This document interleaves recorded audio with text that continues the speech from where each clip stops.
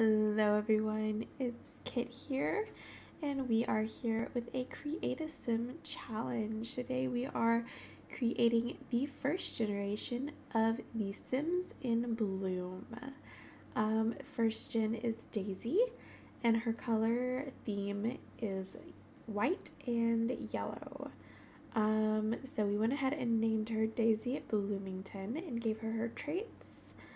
Um, so for her face, um, I was actually really liking the random sim that it gave us. So we did that. I changed her nose because I wanted a unique nose. I wanted um, like a more pronounced bridge. And I'm not sure that I really accomplished that, but I tried my best. Um, and I think I did slightly accomplish it. Um, as far as the rest of her face and her skin details, I was going for a very fresh look. So, The Sims in Bloom is a very, very like sweet challenge. So, um, I just felt like all of the, especially the founding um, sim, should just have a very sweet appearance. Um, so yeah, I gave her some freckles because I figured she would be out in the sun gardening. And as far as her makeup, I gave her some light eyeshadow. I did go a little bit heavier, as you'll see, on the eyeliner and mascara, but I didn't do like a lot of blush and lipstick. I kept the lips very neutral and the blush as well. And I gave her a cute little um, gap in her teeth, you'll see. I also went back in her skin details later and made it to where they're visible. Yeah, right there. Um, for her hair, so I typically go for long hair. I always, um, I just lean towards long hair. I feel like it's very feminine and flowy. But for her, I I tried a little bit of everything, some updos, some down, and I settled on this um, this short hair right here with the bangs. I thought the bangs suited her so well. Um, it's very cute, very feminine, um, but also easily manageable. And I feel like that's kind of a theme with her. Um, very practical and kind of effortless, maybe. Um, with her clothes, I tried to go very feminine, but also very casual, very um, not too much effort, not uh, what is the word? High maintenance. She's not very. She's very low maintenance.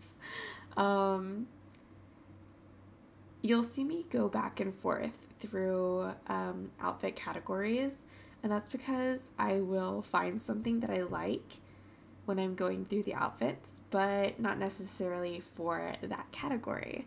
So I'll switch back and forth a couple of times, you'll notice. Um, anytime I saw something with daisies on it, I had to put it on her. I definitely tried to find things with daisies on them.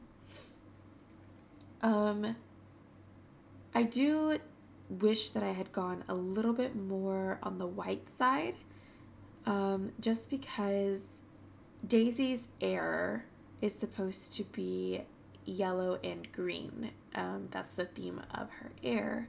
So I feel like she would be more white with yellow accents, and then her daughter more yellow with green accents, and then her daughter, you know, green with whatever color comes next accent. Um, but I kind of just uh, took the yellow and white equally with her, as you'll see.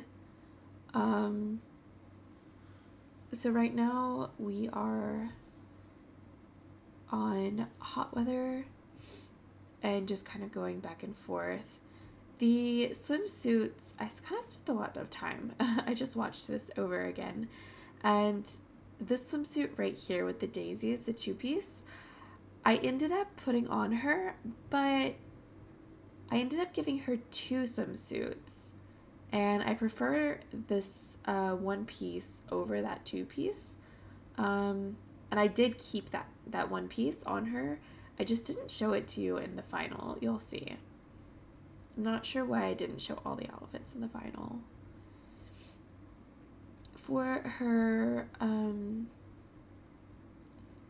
athletic wear, you'll also notice later on, I tend to give my Sims um, two sets of athletic wear one for yoga and one for like running or lifting weights. Um, I feel like it just it just adds a little bit, just a little bit extra to the game. Um, obviously, you can do yoga in the um, in your running outfit, um, but I don't know. I think it's fun to add add outfits for different activities, even though they're in the same category. Another thing, uh, for her um, formal wear, I typically go for long dresses, but I ended up settling on a shorter dress for her. Um, just this midi dress with uh, some heels.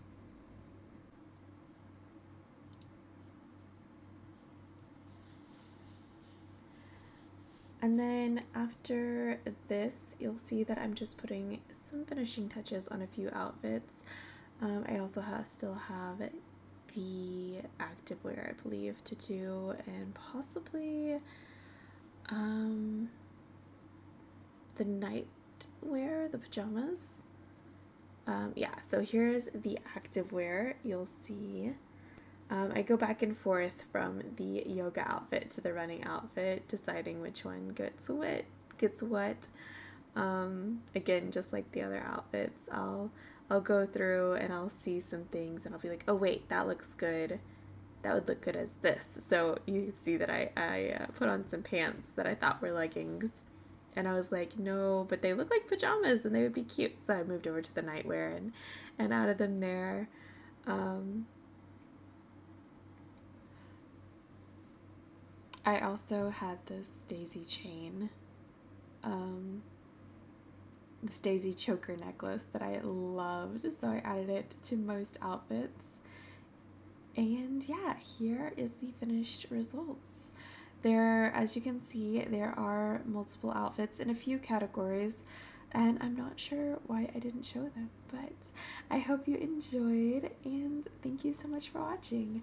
I will post her in the gallery and try and remember to post as much CC as I can in the description. Um, I'll see you next time. Bye.